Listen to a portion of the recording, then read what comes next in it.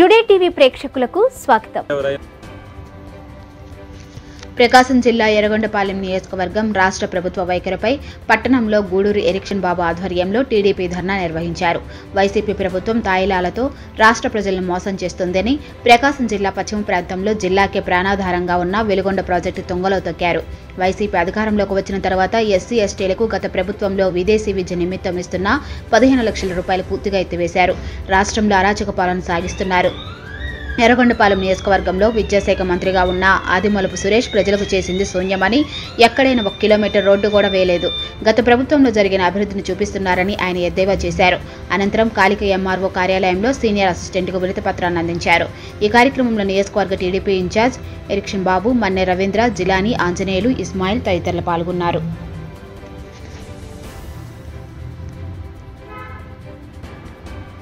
అదేవిధంగా అనేకమైనటువంటి సామాజిక వర్గాల వారు పేద ప్రజలందరూ కూడా ఇబ్బందులు పడతా ఉంటే ధరలు నియంత్రణ చేయలేకపోయి చేతులు ఎత్తేసినటువంటి ముఖ్యమంత్రి ఎవరన్నా ఈ భారతదేశంలో ఉంటే ఆయనే జగన్మోహన్ రెడ్డి.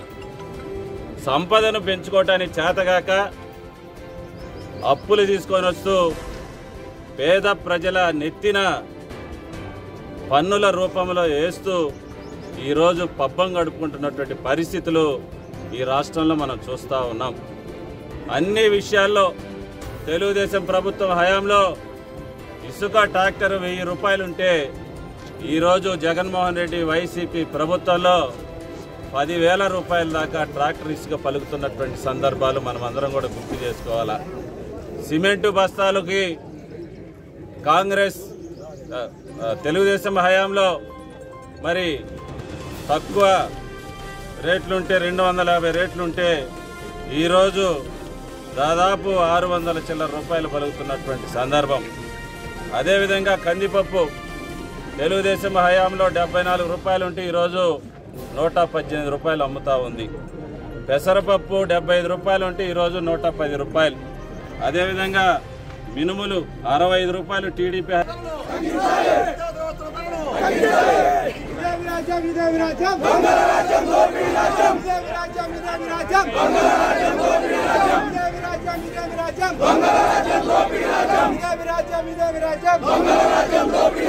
జాబ్ రావాలంటే జాబ్ రావాలంటే జాబ్ రావాలంటే.